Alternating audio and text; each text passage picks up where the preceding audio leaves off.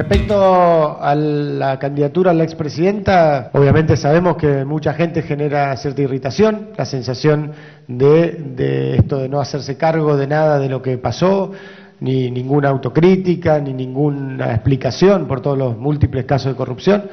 Pero una democracia hay reglas y esas reglas eh, permiten, uh, permiten tirar el vaso y también permiten eh, que ella pueda ser candidata.